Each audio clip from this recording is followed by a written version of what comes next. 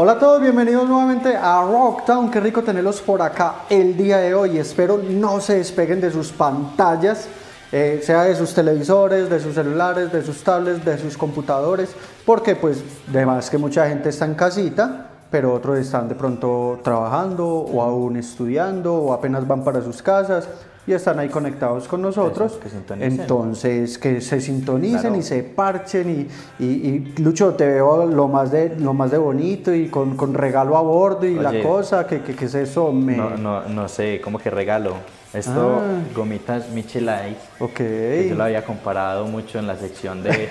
de De las bandas, De las bandas más, más ricas. ricas. del mundo. ¿Cuántas gomitas de Michelin podemos comprar con la fortuna de dinero de esas bandas? Ok, y nosotros ahí muy poquitas.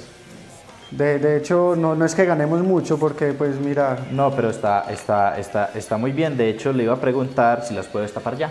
claro que sí, las, las- obviamente, obvio, Porque no, no, las- no, no me aguanto. No, obvio las puedes destapar ya y pues obviamente aprovechamos para darle un saludo y un agradecimiento muy grande a Laura, la administradora y dueña de Michilais, que hoy nos quiso eh, eh, decorar el set con este detalle de gomitas Michilais, invitar a todas las personas, hombre, a que si son amantes de las gomitas, así como mi persona, eh, pues que caiga a la gomitera de Michilais, porque ahí hay un aparato grandotote donde hay una variedad de gomitas, una cosa impresionante, Luis. Menos mal, usted imagina con uno con eso en la casa.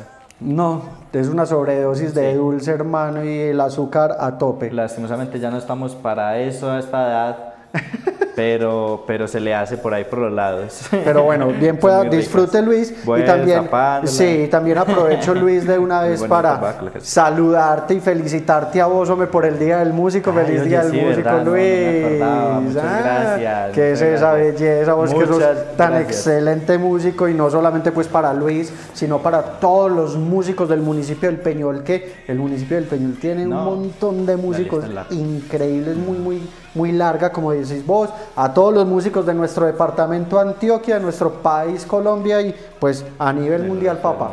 Que nos amenizan la vida y nos ponen ese soundtrack a la vida para que se haga más llevadera. Y nos ponen a parchar de lo lindo, Totalmente, ¿sí o qué? totalmente. Y qué bella labor la que hacen, en serio, porque eh, para mí un día sin música es un día perdido, Perdido, y entonces obviamente nos ponen a disfrutar y, y pues sí, somos Una- felices, una o por lo menos yo soy feliz Sí. con la música. Sí, no, que es y pues con el rock and roll, por obviamente. supuesto, y por algo hacemos ese programa. También es que ameniza la vida, como te digo, que, que es de unos guaritos sin vallenato, por ejemplo. ¿Qué es de eso? ¿Qué es de eso? Pues no me gusta el guaro, pero Y tampoco el vallenato. No mucho, pero, pero pues supongo que a la gente que le gusta el vallenato, ¿qué sería de unos guaritos? ¿O qué sería el vallenato sin unos guaritos? Ah, o viceversa, sí, las dos Así, puede, las tal dos. cual. Del mismo modo, en sentido contrario. Exactamente. Ok, pero bueno, no hoy, hoy tenemos un tema de conversación muy interesante porque vamos a hablar, antes de que se nos vinagrara y se nos enfriara, de altavoz. Altavoz. La semana pasada no pudimos estar acá en vivo, pero estamos hoy. Y todavía hay tiempo de hablar de altavoz, de un festival que para mí en este 2022, hermano, la rompió. La rompió, Uf. la rompió. Totalmente. Una cosa impresionante. descosió, Sí, totalmente. Nosotros parchamos los tres días, estuvimos súper bacaneados. Les vamos a contar cómo vivimos nosotros este festival y pues las bandas que, de las que vamos a hablar hoy, de las que vamos a escuchar su música, hicieron parte de Altavoz. Como la primera banda, una banda venezolana que yo ya había escuchado muy poquito de ellos, los tenía obviamente referenciados en el mapa, hermano, pero verlos en vivo eso es otro nivel. No, es que eh, eso es lo bueno de los festivales. Yo no los conocía y uno a partir de un festival siempre queda con un listado de bandas y se llenan esas playlists en Spotify, las de uno, con, nuevos, con nuevas bandas. Después Total. de un festival, eso es lo bueno de un festival. El, el contenido, lo que uno se nutre es mucho y Desorden Público no, no fue la excepción. De verdad que qué bandota, qué bandota. Son contemporáneos tuyos más o menos, ¿no? Más o menos, Más yo o creo menos, que sí. puede ser. Sí, ¿Cuán- porque- ¿Cuántos años de carrera musical lleva? 32 años. 32 años, imagina. años de carrera mu- musical. Ojalá me dé a mí para llegar hasta allá y no tenga tantos recesos. Por favor, invíteme a bandas. Lucho sigue con esa campaña No, es que intensa en campaña. la que está cada ocho días diciendo, hey, invíteme a una banda, invíteme a una banda, no, invíteme a una tocar, banda. pero bueno. Luis, te llegará, te, te llegará el momento. Se hicieron un popurrí de canciones de Pastor López. De Pastor Uy, López. men. Diciembre. Eso fue Desde- una locura. Desde el altavoz se siente que viene diciembre. Sí, total, pero fue una locura como hicieron esas versiones de estas canciones de Pastor López, pero en ska. Nos las bailamos todas, nos las disfrutamos y la gente estaba prendidísima y pues con la energía a tope porque en serio fue una banda que yo creo que a casi la mayoría de las personas los dejó pues como wow, Sí. es increíble. Sí, sí, más por, la, por el recorrido. Ahí se les veía la experiencia de una. Ese homenaje que le hicieron a Pastor López, literal está para contratarlos para un cumpleaños de mi mamá. A ella le gusta Pastor López y a mí el ska. Y ahí nos llevamos el mismo, el mismo regalo. Ah, pues a doña Luzmi le, le tiramos de una vez la cuñita. y, Claro. ¿Por qué no? Yo le consigo el contacto Hay de la hay que banda, ella verá. Hay que hacerle, sí. Sí, o que no haga Hay, sino hay pensar. opciones, hay Bueno, opciones. Luis, y nos vamos con la primera canción de nuestro programa para ahorita seguir hablando de altavoz y pues como ya lo dijimos desde Desorden Público, ¿cómo se llama esta canción? Allá cayó. Allá cayó. Allá cayó. Bueno, entonces los dejamos con esta canción de Desorden Público acá en Rocktown. No se desconecten que ya regresamos. Para mí va a ser muy difícil porque hay que hacer rendir esas gomitas hasta el final del programa. Eh, Luis ahorita me metió una palmadita y todo porque me dijo, no, por cada video nos comemos una gomita. Entonces, bueno, para la próxima toca comprar un pote más grande Sí, de por gomitas, favor. hermano, porque... Hay que hacerlo rendir todo el programa. Esto a palo seco yo no me lo voy Eh, a eh, pasar. Es, es que es muy duro porque pues hoy decidimos comer gomitas y no tenemos y no, y no tenemos cafecito, ¿cierto? No tenemos Sí, café, no, sino hay que hacerlo rendir. Ya va No, a por ya- ahí, ya- por ya, ahí va. estoy sudando. Bueno, Luis, ¿cómo viviste vos ese primer día de altavoz? Ese, ese, ese día, pues uno, uno el primer día siempre va con toda la energía, quiere ir a estar en todo lado, camina para acá, camina para allá. Ya los otros dos días uno está más cansado, más- pero ese primer día, y más que desorden público, fue una de las primeras que vimos. Y no nos llovió.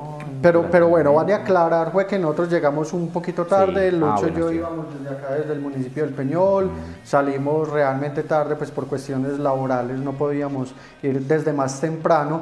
Resulta que íbamos escuchando la transmisión de Radiónica, ¿cierto? Mientras íbamos en camino y pues nos perdimos una, una banda de San Andrés que es Job Sass, que Ay. Sabor, sí, pero la escuchamos obviamente En pues en el, en el carro, ¿cierto? Y nos perdimos las primeras agrupaciones y llegamos ya casi que, que para desorden público, Sí. si no estoy mal, Lucho, ¿cierto? Sí, sí, afortunadamente, bueno, conocimos ahí el, todo lo que es el, el estereo, es el ya estoy con la mente en marzo, el, estoy con la mente en marzo, el altavoz eh, y nos oyamos esa banda, o sea, fue, fue, fue bastante bueno como, como esa intro.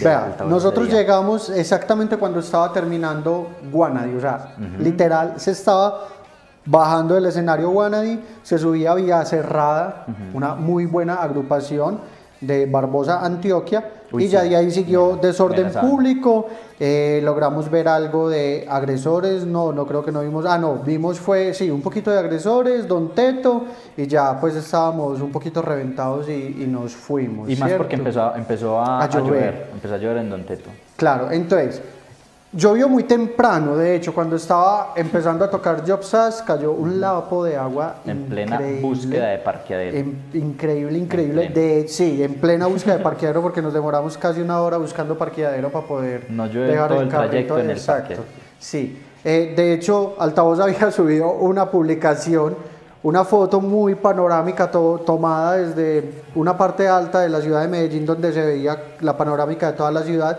y se veía una parte en específico que estaba lloviendo y adivinen dónde era. justo ahí. Preciso, allá, en la cancha cincuentenario en el sector del Parque Norte. Ahí estaba lloviendo, llovió muy duro, ya después escampó, el resto del día así escampadito y empezó a llover nuevamente ya para Don Teto. Que es de un altavoz sin lluvia. ¿Qué sería de un altavoz si lluvia? No sería No, un altavoz. ajá. Lucho, ¿qué tal te pareció Don Teto? Lucho la otra vez me contaba que él no había llegado a ver a Don Teto en vivo. Yo ya había tenido la oportunidad de verlos una vez en un Carnaval Fest, eh, una banda brutal. ¿A vos cómo te pareció? Sí, no, esa banda me era muy, muy esquiva. Eh, siempre he querido verlos porque junto a Tres de Corazón, Alison Panda, eso es banda de colegio. eso es banda de colegio inmediatamente y, y Don Teto, claro, verlos, creo que fue la que le pude hacer check. Y cumplieron las expectativas, la verdad. Fue uno de los conciertos, a pesar de la lluvia, que más me disfruté, que más canté, en donde me teletransporta directamente al grado octavo en la institución educativa León 13. y, me- y- y pues una, una maravilla, una banda más para este 2022 vista en vivo. Es una banda que tiene bastante energía, una banda que, como la mayoría de las bandas, eh, yo creo que siempre intentan experimentar nuevos sonidos en algunos momentos, en algunos discos. Y pues Don Teto no fue la excepción, hubo un disco en el que experimentó de pronto un sonido más suave, no tan pesadito con el rock, y pues tuvo bastantes críticas en ese entonces, porque la gente decía que habían perdido su sonido, por el que se habían hecho famosos, bla, bla, y ya es después volvieron obviamente a sus inicios y pues es una banda que yo también me disfruté bastante, me soñé bastante y es la banda con la que seguimos a continuación. Vamos a escuchar una muy buena canción de ellos que es, Me odia, me ama, incluso esa canción eh, tiene hasta trompetas. tiene esta trompeta. Entonces eso es algo experimental, pero muy buena la canción. Es muy, muy buena. Ok, entonces los dejamos con Me odia, me amas de Don Teto acá en Rocktown. Bueno, eh, estábamos aquí hablando detrás de cámaras, eh, Lucho, y queríamos eh, que las personas que nos están viendo en estos momentos por Instagram, porque estamos en Instagram Live, aparte de nuestra señal online por TV Peñol, eh, pues de, de la página de TV Peñol y también por TV Peñol, pero si usted está viendo la señal en Instagram, pues ¿por qué no se tira un comentario ahí, un mensajito? Si estuvo en altavoz, Eso. hombre, para vos, ¿qué fue esta experiencia y cuál fue la banda que más se oyó en altavoz? Los queremos leer, los queremos saber y compartir con ustedes qué tal les pareció eso. Luis, ahora vamos con el día 2 de altavoz, el día como del, del metal, del hardcore, Punk. el día del punk, el día un poco más pesadito, el día en el que no cayó ni una gota de agua, porque es un día maravilloso. Excelente. Eh, una cosa Excelente. brutal. Obviamente, eh, el sábado nosotros recorrimos el espacio, conocimos a fondo cómo estaba diseñado altavoz y contémosle un poquito a las personas cómo era, eh, digamos, el diseño de altavoz. Eh, digamos, yo entré por la parte de prensa, yo iba con Rocktown pues a hacer registro fotográfico, pero vos entraste por público general. ¿Cómo fue esa experiencia de vos hacer la fila? ¿Te fue bien? ¿Fue fluida? ¿Cómo fue la cosa? Sí, no, eso es lo bueno de llegar temprano a los eventos, que uno no le toca hacer fila, entra, eh, entré por el escenario principal, Principal. que es como por donde siempre se ha entrado en los otros altavoces, y pues hasta ahí, nada de nuevo, todo bien, uno entra, ve ahí el escenario principal tocando todo, ya uno se dirige, eh, digamos, hacia los otros sectores, que ahí sí entra todo lo nuevo. Hubo un sector único, exclusivo para tomar cerveza, de ahí no se podía salir, pero de ahí vendían O sea, cerveza. sí se podía salir no con cerveza. Eh, Exactamente, exacta. Pues sí, en teoría. no se podía salir, sí. O sea, ahí- usted entra y se pone a beber y ahí se queda. Sí, no me puede salir uno. Y, y de ahí lo lleva uno a un, como unos pasillos de donde están comidas y ese pasillo sigue hacia el escenario electrónica y luego sigue al escenario de radiónica que es el, digamos, como un escenario secundario. Eh, y, y eso fue, y a mí se me hacía muy similar a, por un momento al Stereo Picnic. Es que tiene un formato muy similar a lo que nosotros, digamos, vivimos en el Stereo Picnic y por eso fue que fue tan bien recibido también este altavoz por cómo diseñaron el espacio. Fue muy chévere. De pronto, eh, cositas que la gente decía como para mejorar, o sea, el, el paso del escenario principal a la salida para coger hacia la zona de comidas y hacia los otros escenarios era un poco tortuosa cuando una banda terminaba porque todo el mundo se a- motinaba completamente para ir al otro escenario a ver a la otra banda y ahí era donde había un poco como mm, porque pues no era tan ancho No, y, y para las- tanta gente cierto Unas escalas súper empinadas, casi 90 grados esas escalas. sí sí Menos mal la zona de cerveza era exclusiva ya. Pero no me tocaba pasar por esas escalas. entonces uno iba por esos cómo le podemos decir como unas especies de rieles o bueno una plataforma llegaba a mano izquierda había zona de comidas y para esa zona de comidas cerca estaba el escenario donde había trova Ah, y sí, no rap. ese, trova y rap. Y también había otra parte donde era el testeo de drogas. Ajá. Y ya, para mano derecha, derecho, estaba el escenario electrónica y más al fondo el escenario radiónica. Radiónica.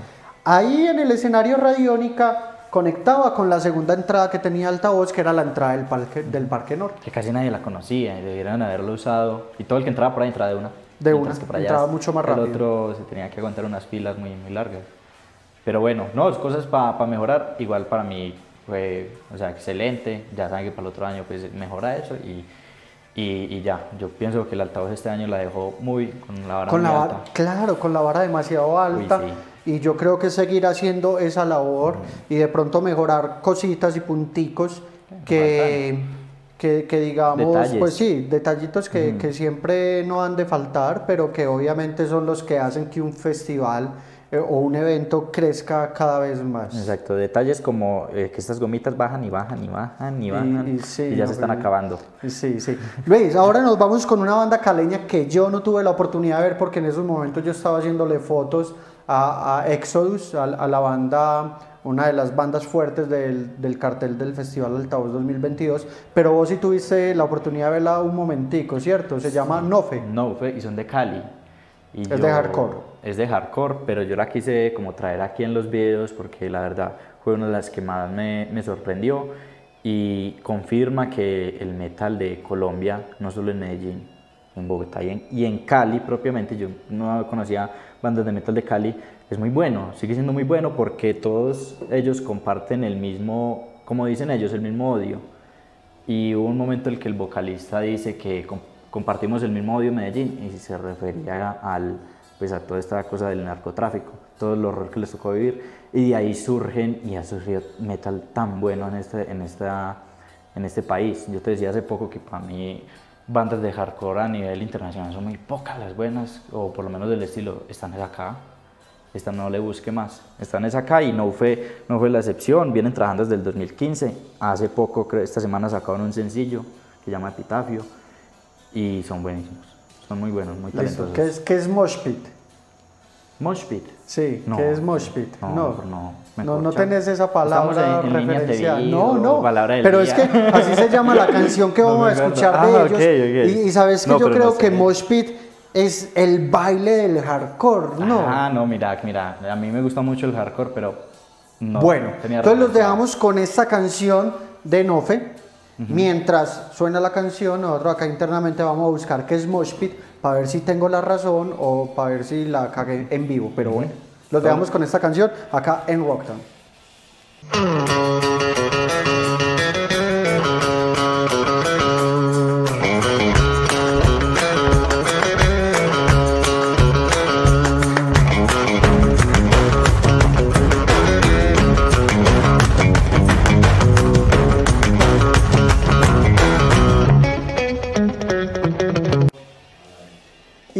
Señores, llegamos a la mitad de nuestro programa y llegamos a una sesión que hemos venido trabajando desde hace varias semanas. Esto se llama, eh, ¿cómo se llama? Rocktown News. Rocktown News. No le estamos copiando un programa por allá No. bogotano que llama Fox News, no, nada, nada, no, no tiene nada que ver. Esto es Rocktown News, donde eh, les contamos qué ha pasado esta semana o la semana pasada que no estuvimos en vivo en el mundo del rock. ¿Qué hay de nuevo? ¿Qué hay por contar? Listo. Tenemos premios Grammy en el rock. Pues, Sí, nominados a premios Grammy, premios Grammy para el 2023. Por ejemplo, les voy a leer álbumes nominados y, y de una vez recomendados. Ok, perfecto. De varios muy buenos. The Black, de, The Black Keys con Ok. Drowful Boogie, Boogie, Boogie. Boogie. Muy bueno. Ese chulelo ahí y recomendado. Banda que sería una Ojo. locura ver en vivo. Sí, esa banda sería brutal. brutal.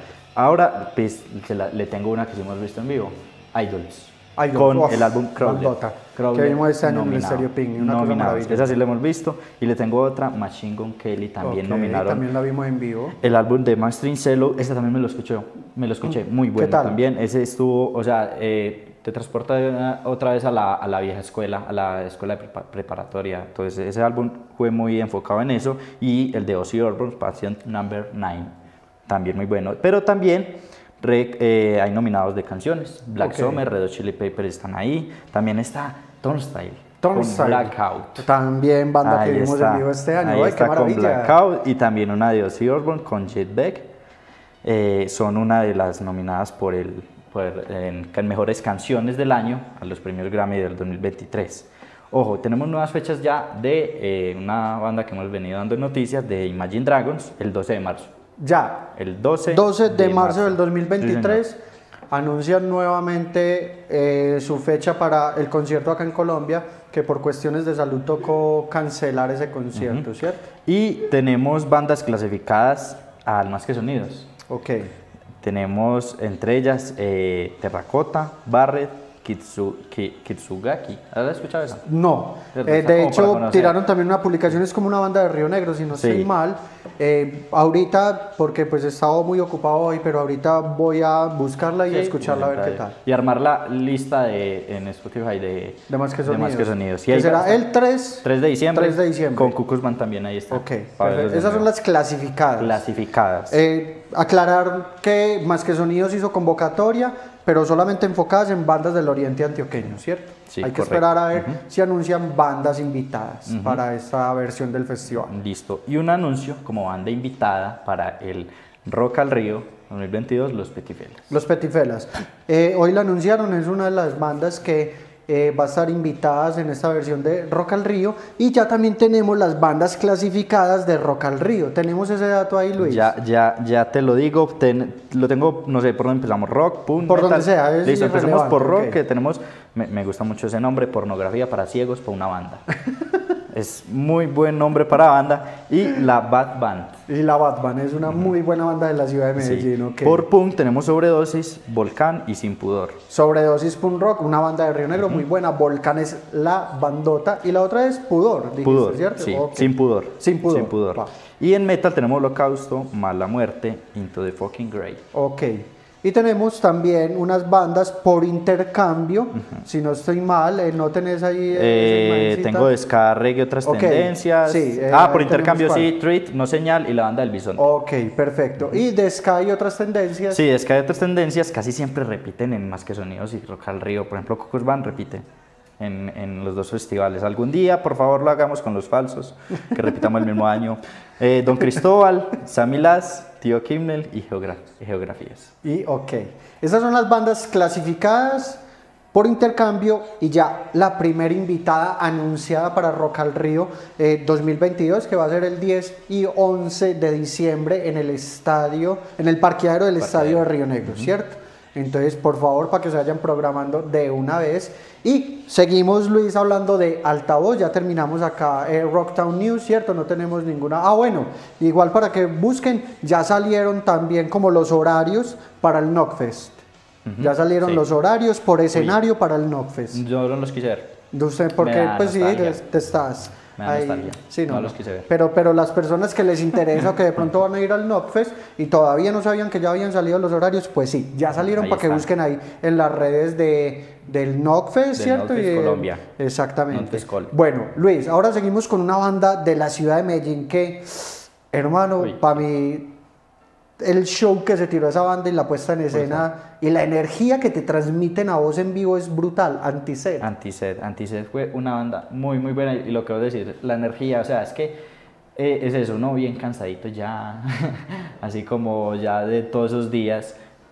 Que la banda le transmita energía te hace volver a como un, un, un alimento para el espíritu, es lo que es. Eh, yo no, lo, o sea, no había tenido la oportunidad de verlos en vivo y me dejaron gratamente sorprendido. Es, pues, o sea, cuento mi experiencia, o sea, qué chévere que a vos, una banda que vos no tenés la costumbre de escuchar mucho y la veas en vivo y ya digas, uy, hermano, en serio, qué brutalidad, y ya la empecé a escuchar más y a seguir un poco más. Es de esas bonitas casualidades que, que puede tener uno en la vida. Exacto, exacto, y eso es lo bueno de, los festivales, porque es de las, de las buenas experiencias que deja, de que a uno se le amplía la biblioteca musical, se le, se le amplía, por decir así, ese, ese gusto por, otros, por otras bandas, y, y pues bueno, Antised fue una de ellas que también, ahí la agregamos. Lucho, vos hoy estás muy, muy con, con Michilais, o sea, tenés gomita Sí, no. de Michilais, tenés el vasito de Michilais, con un Michi ahí. Es porque ya nos trajeron tintico, agradecimientos Sí. a, a Laura, eh, la administradora y dueña de Michilais, que aparte de darnos gomitas, pues hace un momentico llegó con, con líquido para estos cuerpos sedientos. Exacto, eso porque estoy aquí a palo seco. De ¿no? tinto.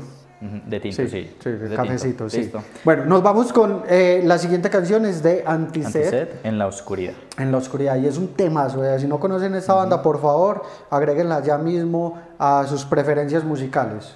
Entonces los dejamos ahí con Antiset, acá en Rocktown. Mira, ve, un saludo muy, muy especial, Ome Lucho, para la gente de Cali. En el Canal 2 nos están eh, pasando eh, con Rocktown. Entonces, qué chévere saber que estamos por allá, por esos lados. Sí, Eh. Ojalá no nos estén pasando el Salsa TV. Pero, Contrapeso a sí, Salsa contrapeso, TV. Ojalá no, Ok, pero bueno. ok. También en, en San Luis, como, como novedad, pues San Luis no, no pasaba Rockdown, ya lo está pasando. Y pues un saludo muy especial a la mayoría de los canales del Oriente, que pues mientras lo digo acá, pero no es muy especial el saludo para ellos.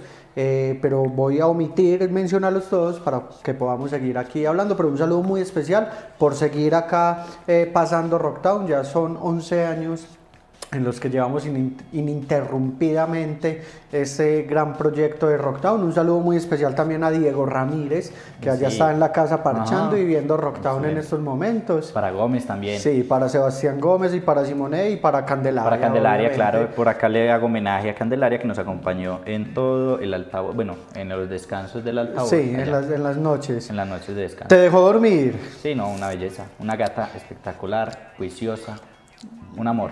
Claro, te dejó dormir porque vos estabas en una pieza solo con la puerta cerrada. Pero era un amor. Pero, pero el resto fue, fuimos los que eh, no sufrimos, pero nos tocó luchar un poquito Ya, con bueno. la candela. Eh, eh, es por eso que hay que armar bien el cambuche para los. Bueno, Luis, ya casi para terminar como hablar del día 2, ya obviamente pues dijimos que Antised fue una banda que nos gustó demasiado. ¿Qué otra banda del día 2 vos dijiste, uff, la sacó del estadio? Uy, no, yo, yo tenía eh, también en mi lista ahí Vera Exodus y pues no me decepcionó. La que, el que sí me sorprendió fue eh, Ramón y May, May Ramón. Ese man, 32 canciones con 72 años se tocó y en la batería, que fuera en la guitarra o en el bajo, que mucha gente dice que no hace nada, pero en la batería, con 72 años y 32 canciones ya son niveles de niveles. A eso iba yo. eh, 32 canciones. Solamente en toda la presentación hubo un momento en el que pararon como 5 minutos y no estoy mal. ¿Qué pasa con las agrupaciones? Llegan, se cantan una canción, paran un momentico, saludan al público, hablan, interactúan un momentico con el público, siguen. Esa gente no era. Uh-uh. Como decía el guitarrista, one, two, three, one, diciendo. Él siempre era el que marcaba el inicio de cada canción, básicamente. Se acababa una y seguía la otra. Dele, dele, Diciendo de seguido, haciendo, de seguido. Obviamente es tener en cuenta de que es punk, canciones de minuto y medio, dos minutos máximo, diría yo que tres minutos. Men, pero es que son 32 canciones, solamente pararon cinco minuticos y fue un candeleo completamente. En ninguna canción, pues digamos por parte, instrumentalmente hablando, perfectos. En cuanto a la- al, al vocalista, pues súper afinado. Lo, lo habrán tomado de un yo me llamo, canta igualito. Pero igualito. siempre eran perfectos y se tocaron pues algunos clásicos, obviamente de Ramones, otras canciones El de... de los Simpsons, el Sí, de los Simpsons. cantaron el, el Happy Birthday to you a Mr. Barnes, sí, fue un momento muy muy especial y que nos cogió por sorpresa porque eso fue 10 segundos y a, Sí. pues, a nadie le dio tiempo como de grabar. Incluso yo le, yo, yo- yo- yo le dije, yo le dije a, a, a Simone, la novia de Gómez, que yo, ay, ven, grabemos el, el video para el cumpleaños de Gómez. Era así, no decir eso y se acabó. Y se acabó. Y se acabó la canción. ahí, pero- pero bueno, pero- pero que nos bueno. crea que la tocaron. Bueno, eh, eso fue como enmarcando el, el- el día 2 de altavoz y ya vamos a empezar a hablar del último día de altavoz, pues sabemos que el tiempo es muy cortico y vamos eh, como arrancar con, con, con, con cómo, cómo fue el principio del día 3, ustedes pues parchamos todos desde el principio. Yo iba también por cuestiones laborales porque estaba acompañando a una de las bandas ese día. Entonces estuve casi que la mitad de ese día con esa banda. Después fue que parché con los muchachos. Mentira, Pero, se perdió todo el día. Todo el pero día perdió. ¿cómo vivimos ese, ese tercer día de altavoz, Luis? Sí, no, el tercer día ya de pronto uh, bajándole un poco la euforia del segundo día. Eh, de pronto sí llegamos desde, fue el día donde más llegamos más, más temprano, eh, el día se estaba comportando bien, ahí empezó a llover y empezó a llover justo, o sea, la sal, es como si yo estuviera tocando allá con esa banda. Justo hubiera pasado eso, que se cae un lapo impresionante de agua eh, en, pleno, en todo el concierto y se acaba el concierto y listo, sale el sol. Así es. El día 3 de altavoz, el lunes, llovió explícitamente mientras tocó esa banda, que es la, vamos- es la banda que vamos a escuchar hoy, que es Jackman. Eh, pues aprovecho para enviar un saludo muy, muy, muy especial al monstruo, eh, a Daniel y al queridísimo Guaco. La ternurita, el guaco que es una ternurita, un saludo y un abrazo muy muy especial para esta banda que aprecio mucho y pues obviamente al guaco lo quiero demasiado, compañero eh, ya de, de conciertos, Sí. no por mi parte musical, sino porque hemos cubierto varios festivales juntos, él con su proyecto que se llama Stereo Sala Studio y pues nosotros acá por parte de Rocktown y este año también nos estará acompañando en Rock al Río Eh, y pues bueno, la banda del guaco, una banda a mi parecer, una banda buenísima y super charro. Preciso empiezan a tocar ellos, el lapo de agua, pero No, fue el lapo, el lapo de el agua. lapo. Terminaron la presentación ellos y escampó. Así, tal cual. No exageramos. Ustedes que estaban en el público, porque fue también muy teso eso, o sea, yo le pongo que habían en esos momentos alrededor de que 500 personas más o menos, sí. o sea, había buen público. Como empezó a llover, pues obviamente el público se expande, se tira como para debajo de las graderías. Unos cuantos se quedaron allá y se mamaron ese aguacero y se disfrutaron el concierto de ellos. ¿Usted se lo disfrutó? No, yo no te creo. Vos te fuiste para la gradería. ¿Cómo viste vos a Jackman? Sí, cinco años antes y voy allá al frente. De pronto ya me da un resfriado, una cosa así. Pero Jackman, Jackman, es que es, es buenísima. Siempre la, la música de, que hace Waco, lo conocí fue en los, en los Fufas. Ajá. Y, y, y No con las dijiste- Fufas, no. Con los Fufas. Ok, es un tributo a los Un Foo tributo a Fighters, los sí, Foo para que no vayan a pensar sí, mal. Por favor, no mal pensados. Por favor. Y eh, ya tú me la mencionaste y yo dije, no, esta banda debe ser buena porque el man, el man es muy buen músico y efectivamente, desde la gradería, el concierto espectacular, pero sí muy, eh, muy tristes que, que les haya llovido tanto. Pero bueno, entonces los vamos a dejar con una canción de ellos que se llama Ojos como Fuego, si no estoy mal. Sí, ¿cierto que ojos, sí? con, ojos como Bueno, correcto. entonces ahí los dejamos con esa muy buena canción de Jackman acá en Rocktown. Se nos acabaron las gomitas Michilais y Lucho se las comió todas, no me volvió a compartir nada más. Y así como se acabaron las gomitas, pues también se viene acabando ya nuestro programa el día de hoy, ni nos dimos cuenta, Ni nos no dimos lo cuenta. sentimos. Todo lo bueno. Eh, Simone copia y dice que Candelaria nos manda saludos y que nos espera pronto nuevamente Qué por bella. allá. Por allá, ¿Sí? pronto, ojalá estaremos muy pronto por allá, Oh. con ansias de volver. donde Candelaria. y de saludar a Candelaria. Sí, muy bien. Bueno, Luis, ya para finalizar, te voy a decir algunas, algunos nombres y me vas a dar tu percepción.